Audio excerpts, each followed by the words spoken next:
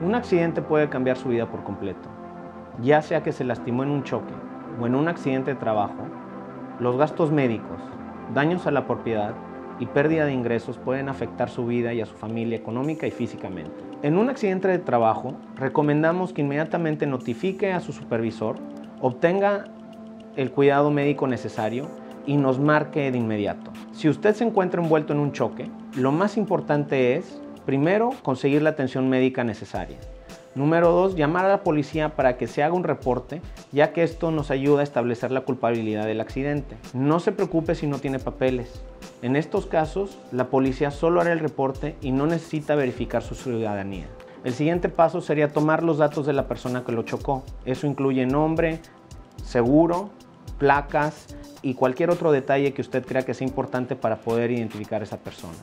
Siguiente, recomendamos que no hable de cómo ocurrió el choque. El que usted diga algo de cómo pasó el choque puede tener consecuencias severas a su caso.